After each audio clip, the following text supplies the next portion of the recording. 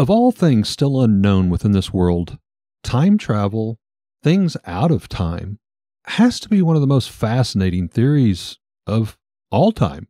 Let's face it, it literally defines our lives. The creation of time itself, the measurement of time, attempts to cheat time, but ultimately, time was created by humans. And our creation of time will eventually catch all of us and come to a close. Sure, one needs to be a believer of some degree to even discuss time travel and these items that we find that are just not supposed to be here during this time. But the stories and information you are about to hear should really get you thinking. We are going to attempt to ask the questions that nobody may truly have the answers to, at least at this point, in time. But as they say, time marches on. So, what we may not be able to understand today or next year, maybe even in the next 10 years, we might need to revisit in a hundred. Bill and I invite you to join us tonight as we jump through wormholes and travel through space and time. From a child born into this world, we are taught what to believe. Close minded we become, fearful to be deceived. Still, we desire to know what lies beyond that locked door. The art of the storyteller, conjuring tales of legend and lore. History hidden, lost knowledge, things forgotten and the unknown. These are the things that direct us and will set the tone. Welcome, friends, to another episode of Nightmares on the Lost Highway.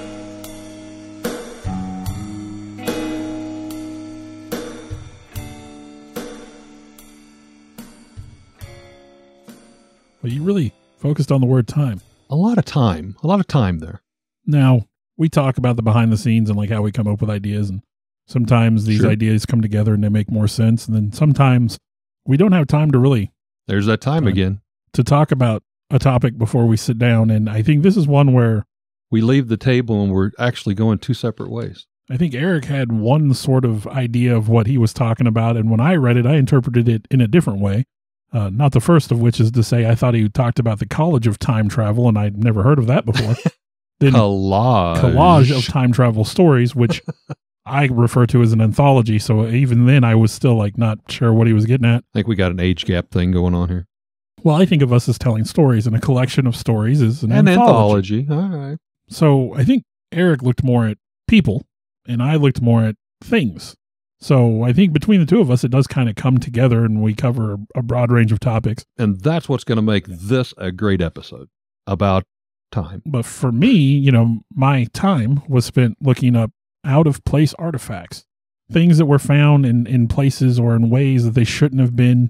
Uh, a lot of these, of course, archaeological finds that were found in stone that was, you know, those objects should not have existed when that stone was created, They're literally out of the timeline. or technological marvels from a time before such technological marvels were supposed to exist. So, again, things that don't match the timeline. So, I think between the two of us, we're going to cover a lot of ground today. And obviously, we didn't want to go with strictly time travelers because we've already done a time traveler episode. Oh, yeah. Even though there's still more time travelers, I, I have a list of them on our idea list. but I know, like, we did an entire episode to uh, the John Titor time traveler ordeal. We've well, mentioned and, and I mentioned several others in that episode.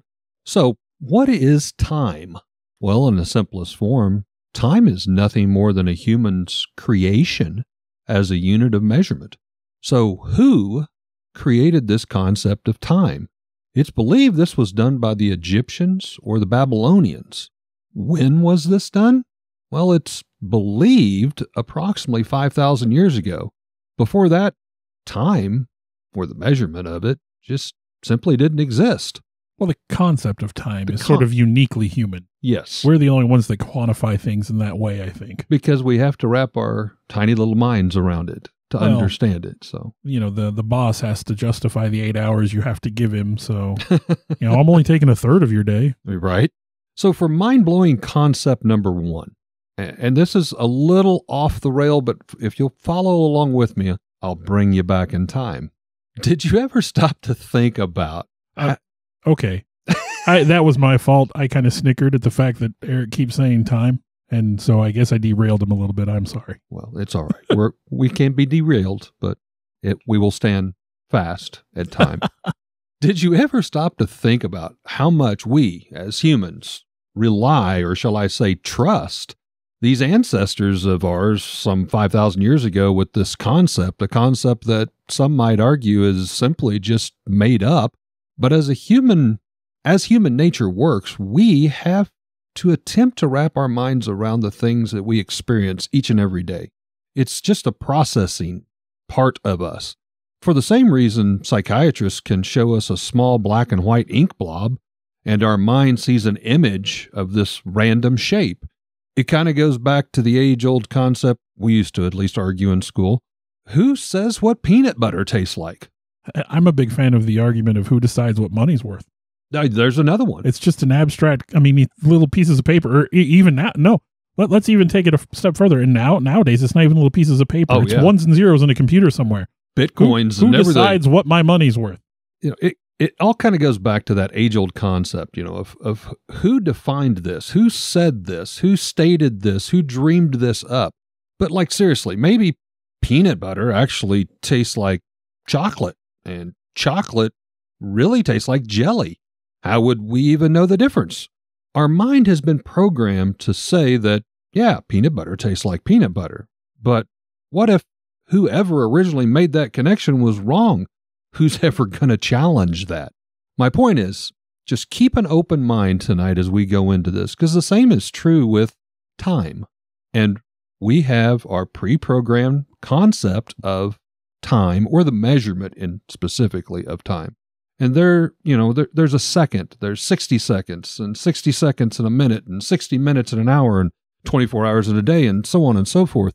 But is it just a unit of measure. And depending on how many outside factors, even that principle can be manipulated scientifically. Magnetism, for example, according to the general relativity and Einstein's research, a magnet itself would not affect time, but the field of magnetism could slightly skew time as we know it. Well, and you could even take that to gravity. We know gravity oh, affects absolutely. time. Yes. And the higher you are, the further you are away from a, a body, the the slower time passes for you. Yes. To where the like astronauts you are. astronauts in orbit basically gain like a insignificant amount of lifespan technically. I mean, it's measured in seconds, but still. Right. It all adds up. You know, super high altitudes, weather, temperature, barometric pressures, you know, all can slightly skew this concept of time. And as Bill had mentioned, you know, further away from the rotation of the Earth and the gravity, such things as satellites revolving around the Earth can also slightly skew time. Uh, it's been scientifically proven if you take a clock with you as an astronaut, leaving the Earth, and you land on the moon, and say that you stay there for two to three weeks, you could expect, due to the weaker gravitational pull that you would lose approximately 58.6 milliseconds a day, falling behind in time from that compared to the Earth. Well, and even an individual's perception of time. When you're sitting in a hospital waiting for bad news, oh, good. A minute can feel like an hour. And if you're sitting around the table playing games with your friends, an hour passes the in entire minute. night just vanishes. Yeah. So even like an individual's perception of time. And again, I don't know about you. I mean, I know you know my, our work situations are different, but even me, you know, coming home from work and, and watching the clock, knowing oh I need to be in bed by a certain time, and then it seems like the more you look at it, the faster it goes. But there is that phenomenon where sometimes you'll look at a clock and the second hand will go the wrong way. yeah. Like your mind perceives that for a brief moment. So Well, and in your new position, you're driving, you know, a considerable amount every day. How many times have you already been driving and like you blink and you're like, wow, I missed that exit. I don't even remember, you know, it's like a lapse of time. I had a maybe not related really. Um, you know, when the time time changed, you know, we we, we did the time, daylight time, savings. time. I was used to going to work when it was was lighter outside. So when I was going to work and things were darker, like I don't know, it was almost like it wasn't the same trip. Yeah, you got to reprogram your brain. Absolutely. So is time travel. We'll just we'll just talk on time travel at, right now. Is it even possible, or is it just a bunch of science fiction mumbo jumbo? Well, I'm going to lean across the pond, so to speak, to an article published by the BBC back in November of 2023. This was by Michael Marshall. The ability to jump forward and backwards in time has long fascinated science fiction writers and everyone alike. So, is it really possible to travel into the past and into the future? You know, Doctor Who, especially, is arguably one of the most famous stories about time travel, along the time machine and Back to the Future movies.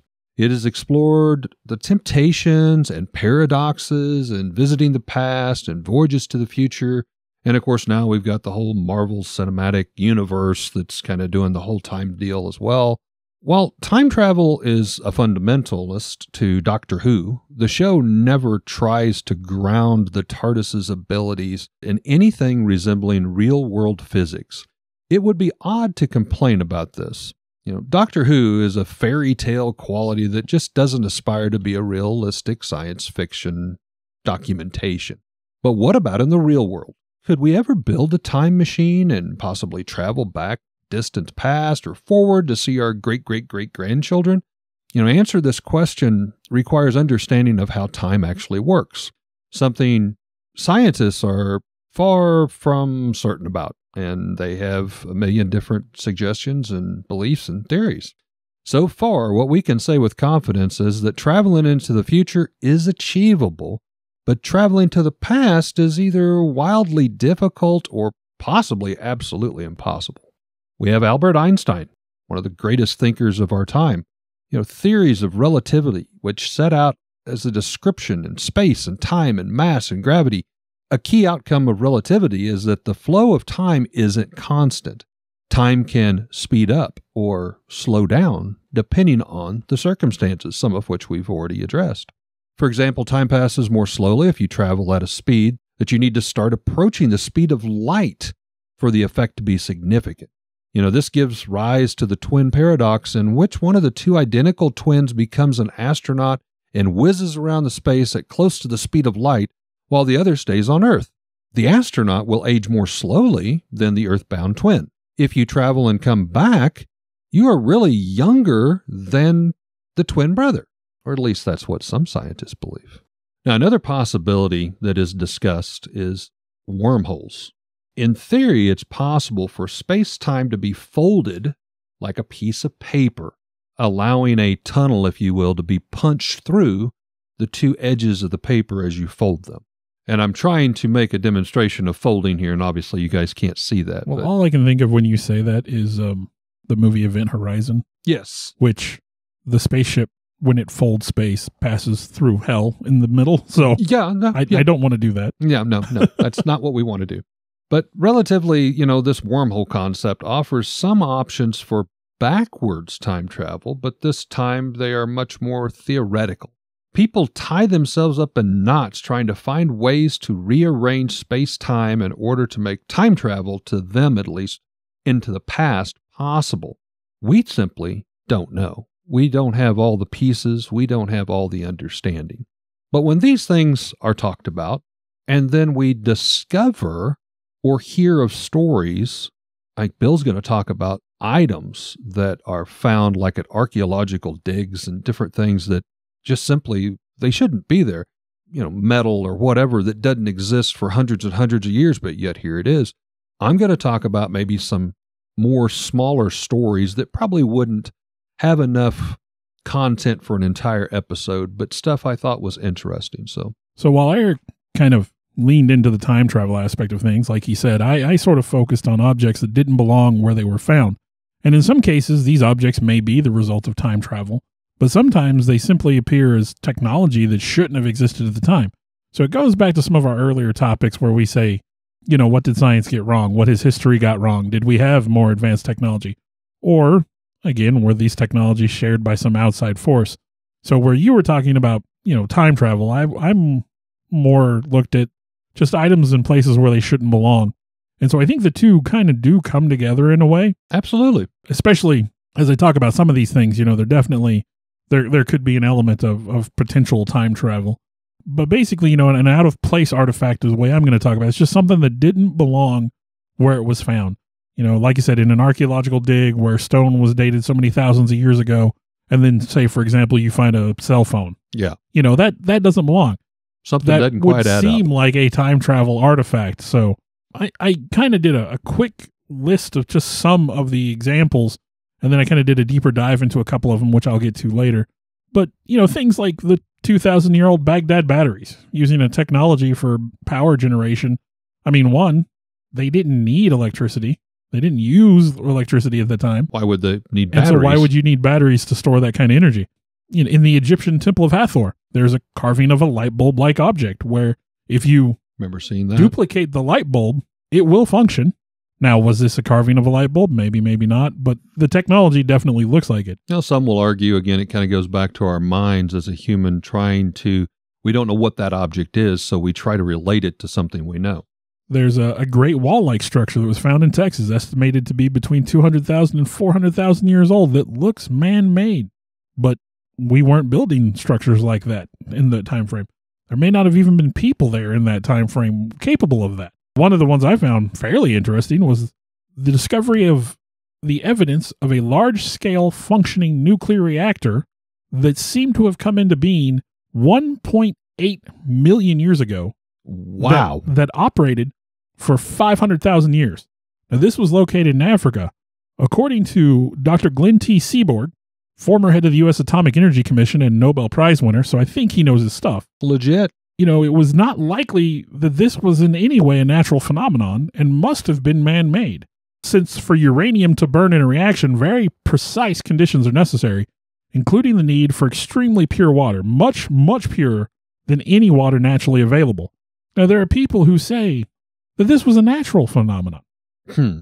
How how does that happen? I mean, this guy is an expert in the field, and he says it's impossible. You- have the Piri Reis map of 1513. These maps include the physical structure of Antarctica as it would look like without ice. that hasn't been seen since the last ice age.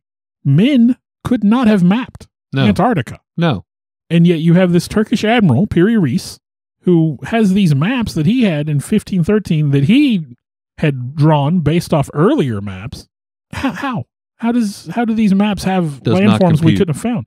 Now, for potential time travel, 1852, John Buchanan Esquire presents to the Society of Antiquaries in Scotland a drill bit found encapsulated in 22 inches of coal. A drill bit, like that A goes drill bit. into like an electric drill, drill holes in wood or whatever. A, a larger scale drill bit, but okay. Okay. you know, the the coal was 22 inches thick, buried in a bed of clay and boulders about seven feet thick. Now, if coal was formed hundreds of millions of years ago, hmm how does a drill bit bearing all the hallmarks of modern manufacture end up in coal? You can't just drop it there. No. 18th century France, quarry workers find tools stuck in a layer of limestone 50 feet underground. Human, modern manufactured tools in limestone 50 feet underground. Doesn't make sense. They discovered nanotechnology in the Ural Mountains. Small objects, only a few centimeters in size. They appeared in geological strata located between 9 and 36 feet deep, which, according to later dating, would have ranged between 20,000 and 318,000 years old. Now, these items were mainly made of copper, with the smallest ones containing tungsten and molybdenum. Both of these metals have a very high melting point, 3,400 degrees for tungsten, and that's Celsius, 2,650 Celsius for molybdenum. Now, of course, the tiny, tiny size of these objects would have required highly developed technology to manufacture. Yeah, you don't just make a fire, campfire, and throw this stuff in a. Yeah. And these are little tiny pieces, like they are, look, manufactured. So, again, either there was a technology that existed we don't understand, or people were able to travel to different times to drop off some of these items. You know, it's it's that you you have a lot of little things like this. Coins found in the wrong places, wrong times. I found an article about a coin with all the hallmarks of being from Nazi Germany with the year 2036 stamped on it. Say what? Yeah. Found in Mexico. In Mexico. We know the Nazi Empire did not make it to 2036. No, not at least in our So- timeline. Either there's a weird time travel or alternate dimension explanation to that. Yeah, we've talked about on our podcast on a couple different occasions, dedicated one entire episode to the Anunnaki. And to some of what Bill is saying, it, it kind of goes back to that whole is it out of our time sequence, or possibly was it a technology that existed at one time and it went away for whatever reason, or we basically become extinct and we came back. We were given another chance, but we were dumbed down. I mean, there's a lot of different possibilities there. But, you know, the Anunnaki is one of the things I, I swear you can go on Reddit or YouTube or anything. The Anunnaki is is making a move here on Earth on at least the uh, internet and the It's stories. trending. It's trending hard, you know, with a lot of, I think, loosely explain a lot of the stuff that they're now finding. I'm going to kind of steer back to where I wanted to, uh, where I started off, and that is just various different little tales of time travel. And one of my absolute favorite stories is called, or I call it the Times Square Traveler. And this is one I've heard of for, for years, and it always intrigued me. And it is still one of those that if you do a search, uh, New York Time Traveler, Times Square Traveler, you're you're still going to find a lot of trending information on this. But in a nutshell, here's the story. One of New York City's most famous, we'll call it an urban legend, tells the strange tale of a time traveler. Now, according to the story, a 30-year-old man was spotted in Times Square at about 11:15 p.m on this random day in June of 1950.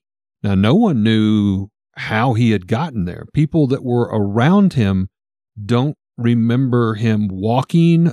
He just like blinked and appeared in the middle of the street. Now, this man was also dressed in late 19th century clothing and appeared to be dazed and confused. One witness uh, recorded that they saw this individual basically just kind of like staring up at the skyscrapers, of course, the big blinking Times Square lights and different things, and, and that deer in the headlight look. Now, shortly following this incident, the man was accidentally hit by a taxi because literally he appeared just in the street, just boom, taxi comes along, plows him down. He died, unfortunately. So nobody ever got to talk to him. Nobody ever got to question him. It was just like, hey, this guy just appears out of nowhere. Oh my gosh, he just got hit by a taxi. Oh my gosh, he's dead. So they start going through his personal belongings that he had on him. And the following items were found in his pocket. First off was a business card belonging to someone named Rudolph Fentz, F E N T Z. There was also a letter sent from Philadelphia dated 1876 to an address on Fifth Avenue. He also had a small bundle of old banknotes from like the 1880s, 1890s time frame. A copper token for a beer also they found within his pocket, which bore the name of an unknown saloon.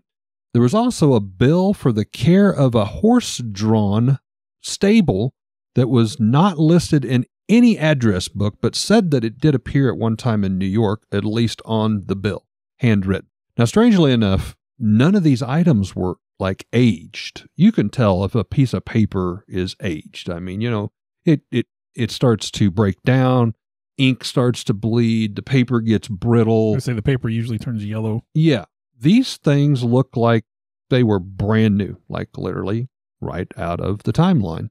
Now, following the incident, an investigation was supposedly carried out. Again, we're going all the way back to 1950. A lot of what you will find is the same stuff rinsed, repeated, but they said they, they did attempt to do uh, an investigation as well as they could. And I did find the name of a Captain Hubert V. Rihm, I believe is how you would pronounce his last name. It's R I H M, Rihm, of the New York uh, Police Department's Missing Persons Department, which revealed that a man with the same name had in fact disappeared without a trace back in 1876. Now, the history behind the story, I wanted to dive in a little bit deeper because this is, and, and I use the word urban legend. In the 1970s and the 1980s, this tale was actually spread and published, as a fact, on numerous occasions.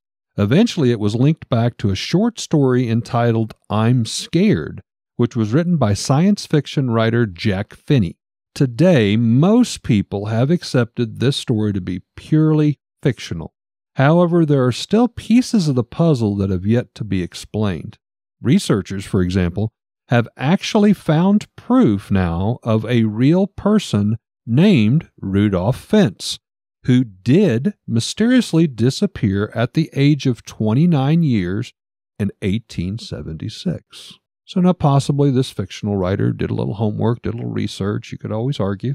But regardless, I, have always just, I've loved that story. To me, that is just so bizarre. I don't think I'd ever heard that one. Well, my deep dive, I found a couple of particular items that really, one, which really seemed out of place, and the other, which definitely seemed out of time. So, the first is is called the Antikythera mechanism, and it is an ancient form of analog computer. It was discovered in 1901 when a diver, you know, in one of those old school copper helmet, you know, glass hinge thing, weighted boots, the canvas diving suit. He emerged from the Mediterranean Sea, shaking in fear and mumbling about a heap of dead, naked people. Dead naked people under here. When divers returned to the area, they found these dead, naked people to actually be marble sculptures scattered across the seafloor, along with other artifacts. There was a shipwreck. Ah, Well, one of the objects recovered from the site appeared to be nothing more than a dictionary sized lump. It was clearly something, but they didn't know what it was, and they collected it along with everything else. Months later, at the National Archaeological Museum in Athens, the lump was broken apart and it revealed some bronze gears inside, wheels the size of coins. Now, according to historical knowledge of the time, gears like these should not have appeared anywhere in ancient Greece nor anywhere else in the world for, for many centuries after the shipwreck they were found in. Now, the shipwreck itself dated to between 60 and 70 BC. The device itself is said to have been created sometime between 205 and 600 BC. Now, the device and its workings are sort of based on the theories of astronomy and mathematics, believed to have been developed by the ancient Greeks, all the way back to Pythagoras of the Pythagorean theorem, mm-hmm. who you know you know observed these things. Its design and workmanship reflect a previously unknown degree of sophistication and engineering. Now, some experts do say it's not implausible, but it's really not in line with a lot of the technology that you find at that point in time. It's far, far more advanced than it should be. As a matter of fact, even some of the greatest minds of modern time trying to rebuild the device, one, it took them years to reconstruct it to figure out what it even did. And two, once they built it, they were amazed by what it could do. This this contraption, which, you know, again, it, it's not very big, the size of a book, is capable of predicting astronomical positions and eclipses for up to 19 years for astrological purposes and the exact date of six ancient Greek contests, including the four major Panhellenic games. And all this is achieved by simply turning a crank on the side of the device and watching the motions of its pieces. Hmm. Now you said a lot of these gears they were made of like brass. Bronze. Uh, bra- okay, bronze. Yeah. Again, small pieces. Very. Th- those metals are a softer metal, very hard to work with. and precision made. I mean, Precision yeah, made. Yeah, they're not. little gears that are meant to fit in each other and, and work in a in a gear ratios, you know, things like that. Because I'm trying to wrap my mind around. You know, we had old watches and, and some different things back. You know, but not that far back. Not that far back, yeah. That came way later, where you know, like the Swiss watches and all that with the tiny little gears. But this, yeah, that's totally. Yeah. Yeah. That does not add up. It is known that this wasn't the only device of this type, since there are documentations of Cicero speaking of such devices. So they weren't known, but it's so far advanced beyond what everything else was. So at some point in time, these devices were being built, but it wouldn't be until almost 1600 years later that they were able to develop similar technology in Europe. Hmm. So, you know, you have this this amazingly complicated little mechanical computer that times out the movement of the planets and predicts eclipses and all these other things. I mean, there are entire papers written about this. The gears, there's, you know, the pieces. Like I said, it it- some of the best trained people looking at this. It took them years just to recreate what it did, and they They didn't even understand what it was they were building. Truthfully, to you know, to be amazed by everything that it could do. Well, my understanding is even at one point they sort of stumbled upon it by accident by thinking about the European astronomical clocks. Somebody just simply said like one of these pieces looks similar, and then somebody was like, "What if that's what this is?" But the idea that that's what it could be just wouldn't even occur to them because again, so far, that technology wasn't supposed to exist for another 1600 years. Very interesting. My next story is from IT, India News Online, and it was written by an R. Banerjee. This appeared in uh, July 2016. And the story is of a newspaper article written 11 years prior to occur in the future. You know, news agencies would kill for a story written 11 years ahead of its time. But honestly, if this were to happen with me, I think I'd kind of lose my marbles and I'd freak out a little bit. This is a spine chilling, tingling story, and it was part of a book, The Little Giant Book of Eerie Thrills and Unspeakable Chills. I love that book title. I'd read that. I would read that. I would so read that. Now, that book was written by Ron Edwards, uh, a C.B. Colby, and John Macklin as a collage work. Now, according to the authors, this was back in 1932. Newspaper reporter J. Bernard Hutton and a photographer, Joachim Brandt, were sent to do a feature story on the Hamburg shipyard in Germany. Now, after completing their assignment, just as they were about to leave the premises, they heard the sound of aircraft engines, only to look up and see the sky full of fighter planes. The anti aircraft batteries opened fire and bombs started going off. All of a sudden, this place had become an instant war zone. Things were exploding, buildings were collapsing, there was death and chaos everywhere. Before rushing out to save their lives, Hutton even asked a security guard if there was something they could do to help out, but was asked to immediately leave the area instead. As the two drove into Hamburg, things changed. The sky cleared up and everything went back to being normal. There was no blood, there was no violence, the buildings were fine, no one seemed to panic. It was as if nothing had happened at all. When Hutton and Brandt looked behind towards the shipyard, they couldn't even spot anything wrong with it. There was no damage, there was no smoke, no fires coming out of the building. Shocking. The newspaper office obviously did not believe anything these two said. It was even joked off, you know. The pictures that Brandt had been taking during the attack showed everything to be normal. But when they snapped them, they said, no, this was when the plane was dropping the bombs. And as your boss was looking at those, it's like, that's an empty building with clouds in the sky. The shipyard itself looked good as new. Their colleagues dismissed their claim and actually joked and decided that they had must have stopped on their way for a bit of a drink and it was the alcohol making them see things. Now, Bernard Hutton later moved to London just before the Second World War began in 1943 when he picked up a newspaper one morning, and it almost made his heart stop as he began to read the pages. It was a story about a successful raid by the Royal Air Force Squadron on the Hamburg shipyard. The resemblance was uncanny. This was an exact representation of what he and Brandt witnessed 11 years back. To the point, he dug out his old notes and diaries that the two had kind of put together because no one else believed them. So they talked about it and they thought, we're going to write this down. And it was exactly as they had written 11 years prior actually came to be. How? So an artifact was found in London, Texas, June 1934. It was found by a local couple while out walking along the Red Creek. They noticed a strange piece of loose rock with a bit of wood embedded in it. And they took it home. Ten years later, their son broke it open, being the kind of kid that likes to break things to see what's inside of them, I was one of those kids. and discovered a hammerhead concealed inside. Like a hammer, Yeah. carpenter Yeah. hammerhead. Okay. Well, like a mining hammer. a mining hammer. Okay. Now it's a hammer made of iron and wood, and the stone that it was cased in was said to be 400 million years old. 400 million years old. Now, this is a man made tool tested to be much younger than the rock surrounding it. It would appear as if whoever dropped it might have been running from a triceratops when they did so. it is identical to 19th century mining hammers. So here you have this hammer of presumably relatively modern make at the time, 19th century. So that's the 1800s. Mhm. And obviously that that's I mean, by any account, that's way way way out of where it should have been. I'm just thinking, being an antique person myself, trying to remember exactly the date time frame for tools when people started stamping, and I think somewhere along that time frame, you know, not saying a local blacksmith Yeah. would, would necessarily mark everything, but big companies that were starting to produce stuff would have had marks on there. Yeah. That'd been interesting. Well, creationist Carl Baugh bought the hammer in 1983 and claimed it to be a monumental pre flood discovery. His thought was not that it was time travel, but again, if people can slip through time, Why surely objects could.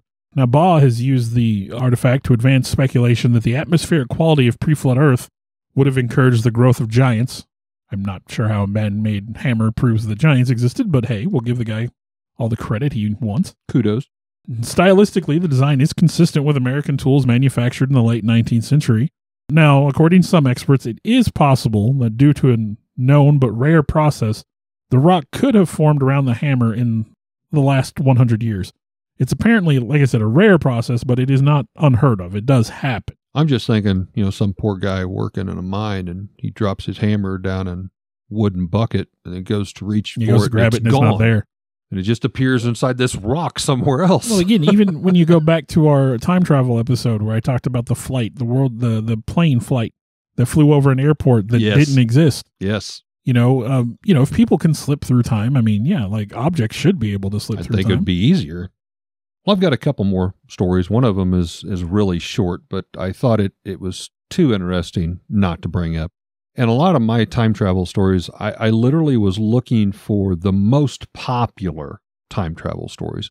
And another one of these, uh, I actually found the best representation on uh, India News, again online, uh, again by this same author, R. Banerjee. Now, this particular article uh, appeared in July 2016 the story of a time traveler who came back to Wall Street to make a fortune. well, if you were going to do it, Why not? Do it in style, man.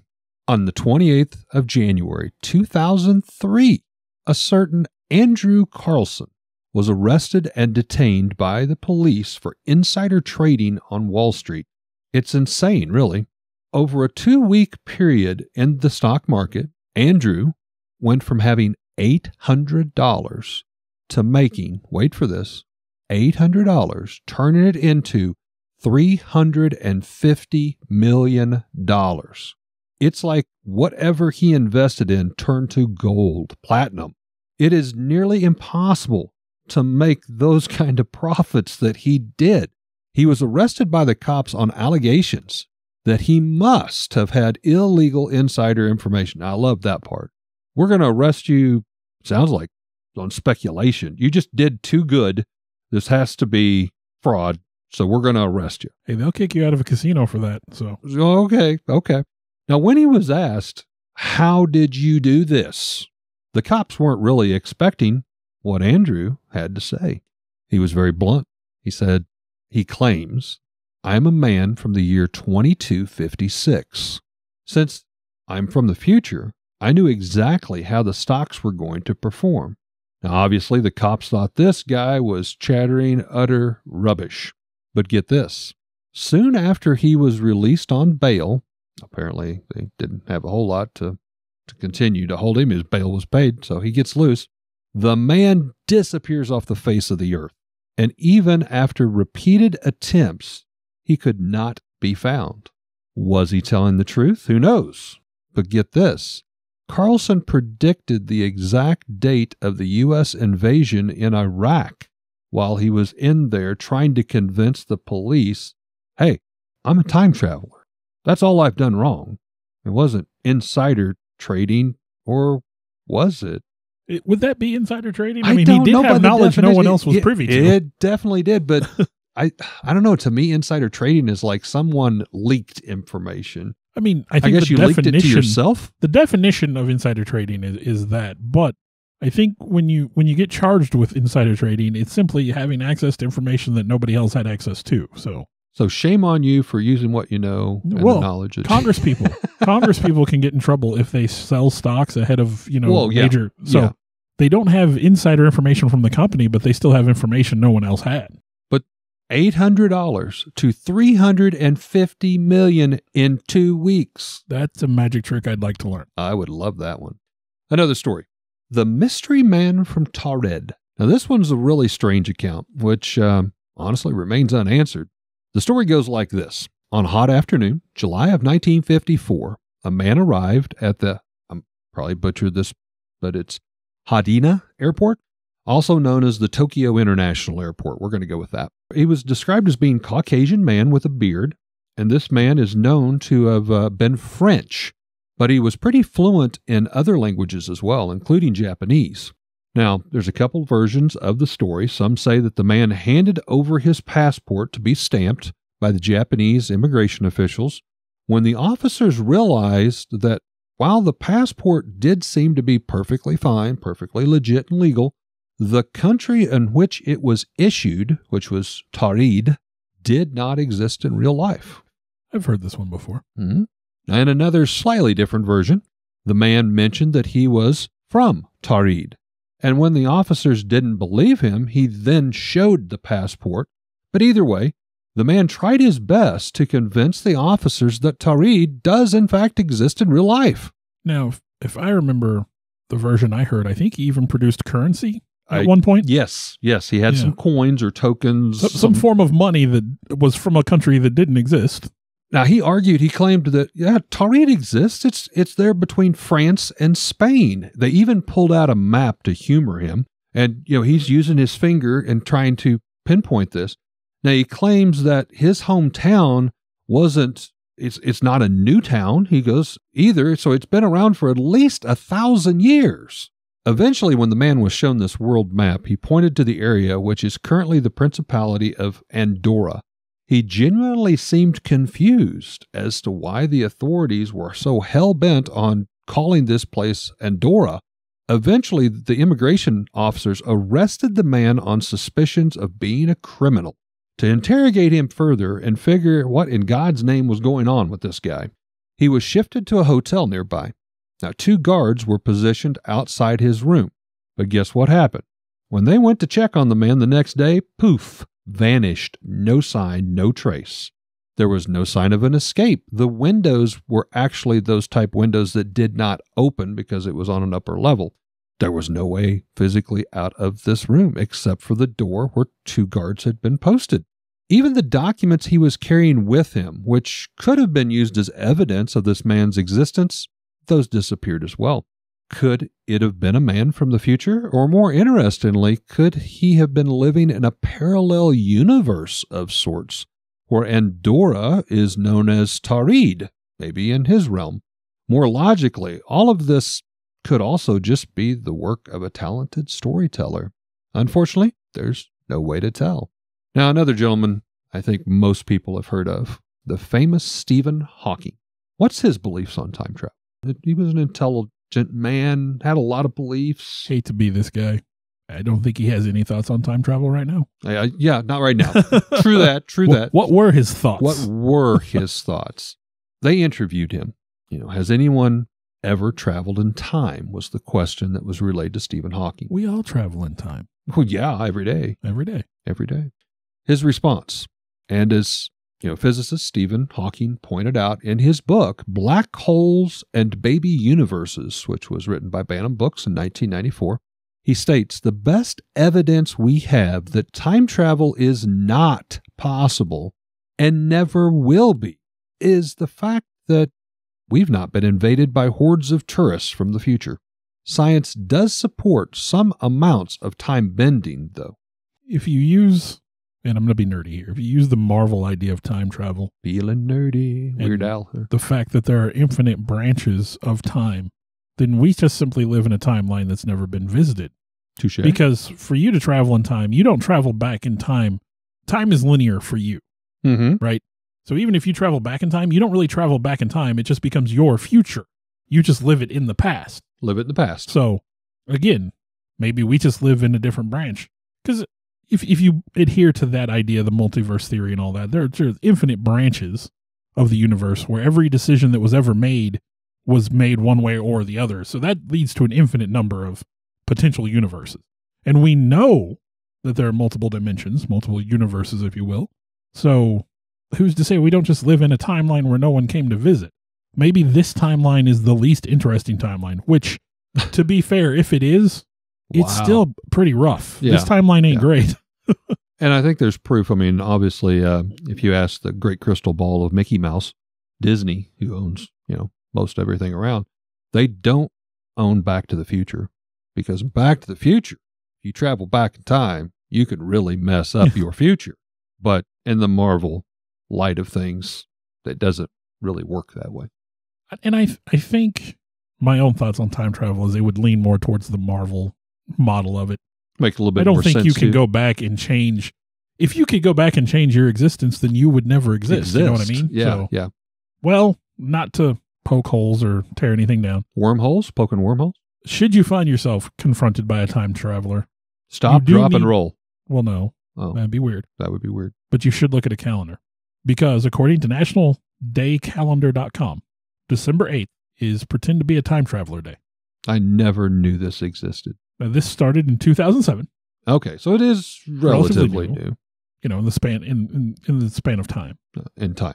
Pretend to be a time traveler day encourages us to step from our TARDIS or flip open our Omni while wearing clothes from the past. At the same time, we should act appropriately confused by certain technology.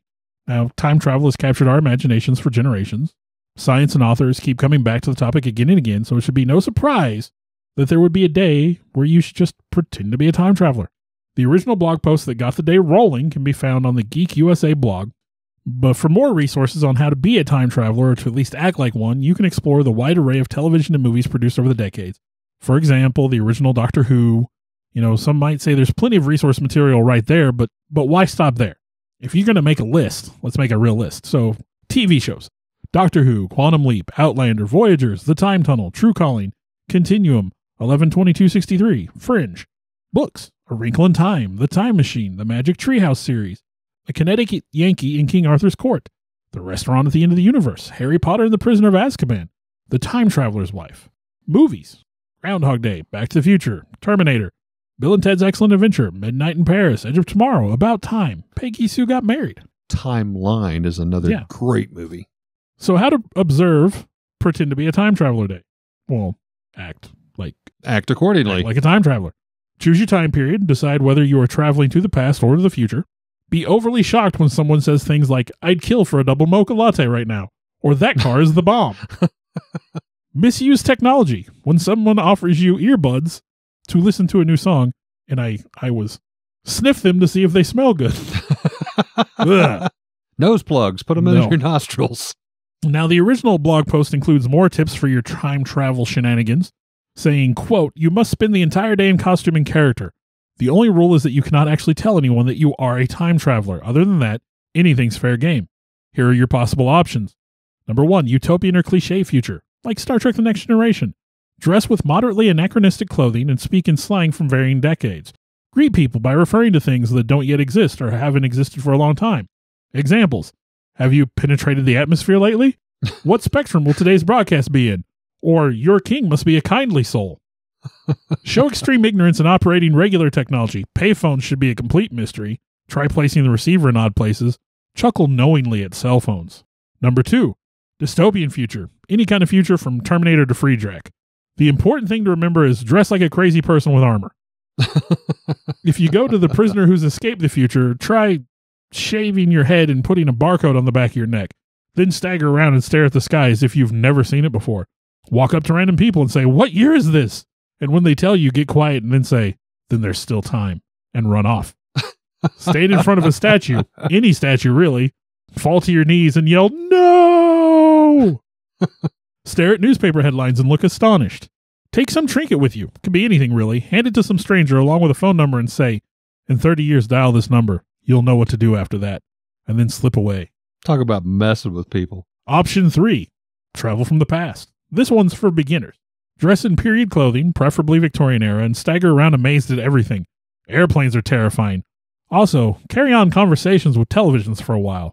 Discover and become obsessed with one trivial aspect of technology, like automatic grocery doors.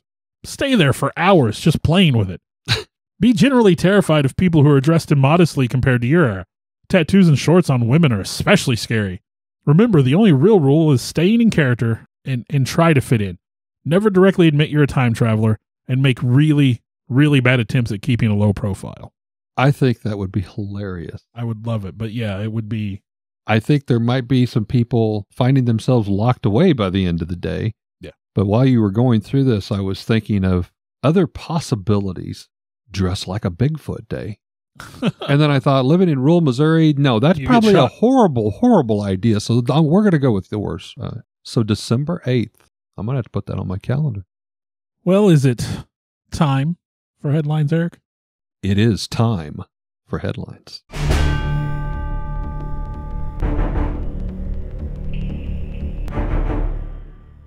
Irish Star newspaper by John O'Sullivan, February 24th, 2024. Not all very long ago at all. Eno Alaric, who is also known as the Radiant Time Traveler on TikTok, has built up quite the following of more than 826,000 followers. You rat bastard. Did I steal yours? You stole my headline. Woohoo! Well, before we get too much further, Eric, we're only going to have one uh, headline because mine is uh, uh, about him as well. Great minds It might, think be, alike. it might be a different article. Mine's from the mirror.co.uk. So, Well, mine's from the Irish Star. but I'm I'm going to assume they're probably going to be pretty similar. Probably pretty close. This gentleman has 826,000 followers as he tells of looming catastrophes that are set to affect the world. In this chilling tale, a self proclaimed time traveler, as he states, he goes by the handle Radiant Time Traveler on TikTok. Says he's back from the year 2671 with a warning of upcoming disasters. Now, Eno Ulrich has more than, again, 826,000 followers who listened to his predictions, all kinds of predictions. This is just one example about potential calamities that could hit our planet. Now, in some earlier posts, Ulrich warned followers about twin planets crashing into Earth, extraterrestrial visitors, and the possible start of World War III. Now, this time, he spoke about a strange and frightening occurrence, events that he claims are coming up. These include earthquakes and a Pandora's box opening a path to another universe. But first, he warns of unprecedented, destructive tornadoes, the likes in which we have never seen before. A Force 6. He predicts it will strike Houston, Texas, causing extensive damage to humanity. And he begins his prediction saying, Attention! Yes, I am a real time traveler. These are major events to come in the rest of 2024. Then he dives into the specifics, starting with Part 1. February 17th, the first ever F6 tornado occurs, hitting Houston, Texas. It destroys almost the entire city, making the worst tornado in history and mankind. Well, he got that one wrong. He, he missed that one by a mark. March 28th, an ancient artifact is found and discovered. When it's touched, it sends you to another universe. It's called Pandora's Box. The universe can be very similar or completely different, like people being on a Dorito shaped aspect. Not sure what that really has to do with anything, but that was his words. April 2nd, a 9.8 magnitude earthquake that they call Big John occurs in the San Andreas Fault region. Now, soon after this, a 750 foot high tsunami hits California coastline. Many large cities are in ruins, including, but not limited to, San Francisco. May 15th, an alien lands on Earth known as the Champion. He is here to take 10,000 people to another habitable planet. He was here once before. He has returned to try to save us because they do not want to randomly choose. So he has come back and hand selected these 10,000 people. Well, mine pick up right where yours left off. All right. May 27th. A second civil war begins in the USA when Texas secedes from the rest of the country. Other countries take sides, beginning World War III. Nuclear weapons are used. June 4th. The first ever human chimp hybrid is made. It has fur, a tail, and can speak to humans and monkeys. It begins teaching other monkeys to speak, and they eventually become full members of society. Planet of the Apes. Good for those monkeys. Good monkey. You know, in a world where if you're the wrong skin tone, you don't really get to be part of society sometimes, I find it hard to believe we'd let the monkeys be Yeah. part of it. Not to be racist, I absolutely, you know, hey, I'm all for it. If the monkeys can speak, you know, give them some credit. July 24th, the Yellowstone volcano erupts, covering almost the entire U.S. and Canada in ash. It is a supervolcano that stretches two thirds of the way across the U.S. It creates a canyon four times larger than the Grand Canyon. In case you're wondering, it can get stranger. August 15th, dragons are discovered in the Rocky Mountains. Hell yeah. They can fly, breathe fire, and speak. Finally, September 15th, the first ever hypercane. It's the U.S. East Coast, a hurricane with over 500 mile per hour wind speed. Hypercane. I mean, I think really this guy's just throwing anything at the wall and seeing what sticks. Yeah. Because, I mean, if you predict enough weird crap on enough days, one of those is bound to be something close, right? Well, And I hate to be that guy, but I mean, some of the things that he's talking about, Texas succeeding and and, and uh, the Yellowstone volcano. I mean, Hey, I'm terrified of the Yellowstone volcano. yeah, I mean, we're getting there's earthquakes and there's a lot Well, more started- motion going on there We've started having a lot of quakes on the New Madrid again. Yes, we did. Yes, So- we did. But yeah, these prophecies have, have gained enormous popularity among Oh, the yeah. followers. I don't know about you. Uh, I've spent some time on TikTok. I loved these things when Oh, I yeah. found them. I But- would mark them and read them, and Uh, But then obviously some of the dates have come and gone. Yeah. and, you know, nothing nothing occurred. However, I did think it was interesting. He's starting to get, you know, out of all these followers, people can also leave him comments and, you know, so while a lot of these prophecies have gained enormous popularity, some people are kind of writing back. One person writes, I live in Houston and do not approve of this message. I have one that says not even close to being believable. Yeah. Another one says, I don't think you have any idea of how big Houston really is. I like this guy. He never gives up. Another, however, you know, there's been so many numerous skeptics. One comment says, please make a video of all your predictions that have come true to pass. And another, you know, remarked, and they only share the bad things. Why not share some positive things for a change? Hey, here's one. Can't wait to see the dragons.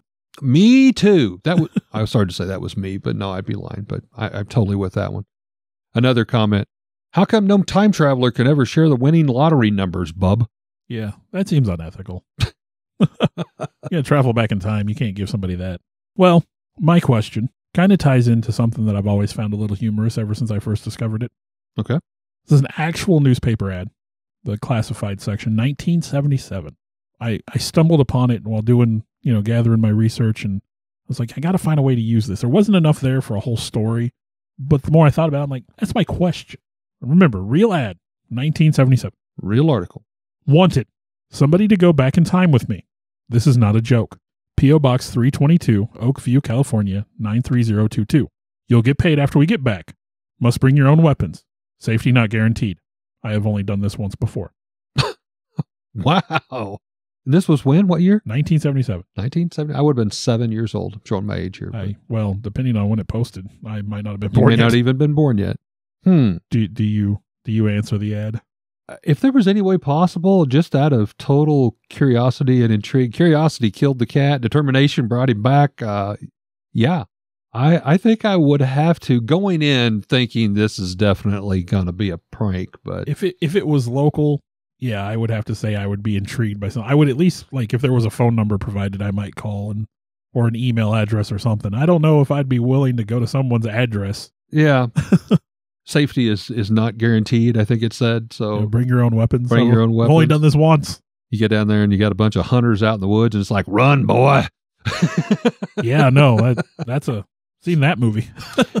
All right. Well, my question I, I touched upon actually tonight in the podcast, but I kind of wanted to get into it again, more of a humorous side. When we selected this this topic for tonight's episode, it was because honestly, my weird family had gotten off on a similar topic. So this one drew my attention. I'm weird. My family's weird. We love each other. That's the way it works. But um, it was still fresh on my mind. And this was my son, Alex's comment. You know, he's kind of our, as Bill says, our producer at this point, helps us with the recording stuff. But he'd come into the living room and he's uh, he'd seen something online uh, and it got him thinking.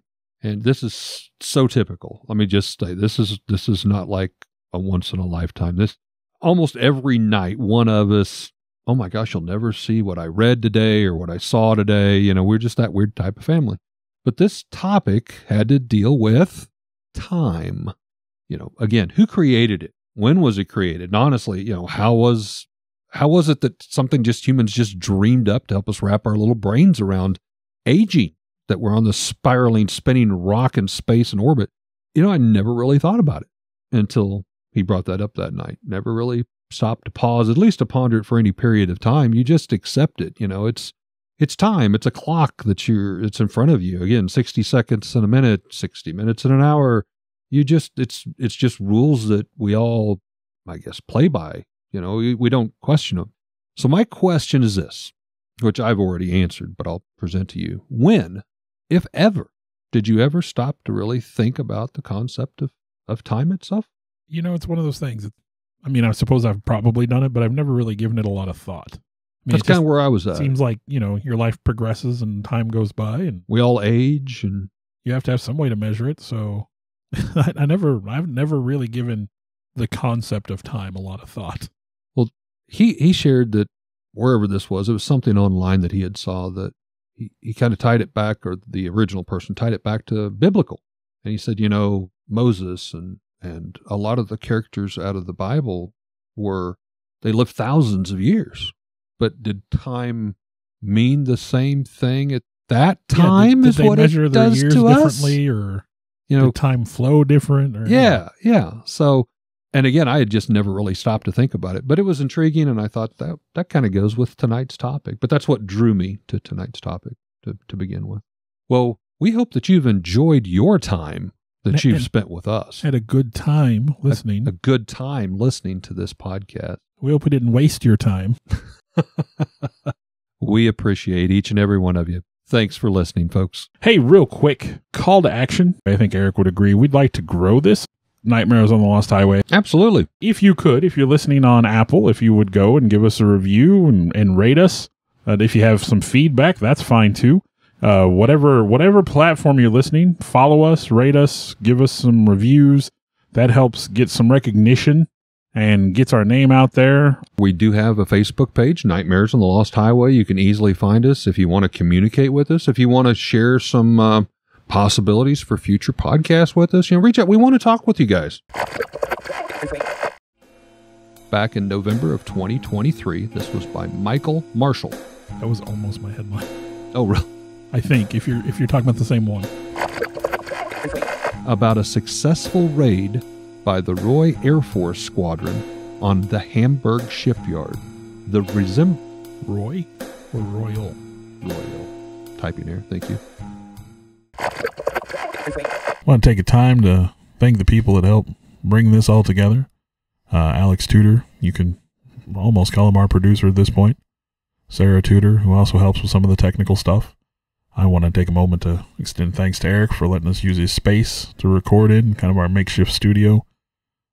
I, in turn, would like to thank Bill for one, putting up with me and uh, using this camaraderie to do something we both very much love and enjoy doing, and thank Bill's family for allowing him to spend all the time to work and clean up our recordings and present them in what uh, you hear in the final uh, terms, uh, the final edition, if you will. And I'd like to thank all of you for continuing to, to listen. I know we've got some loyal followers out there. We do this as a labor of love, but we're we're happy that there are people that enjoy it as hopefully as much as we do. Thank you very much.